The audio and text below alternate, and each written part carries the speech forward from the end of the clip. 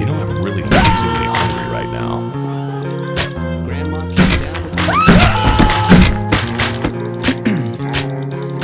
Ice in my veins, I've been driving this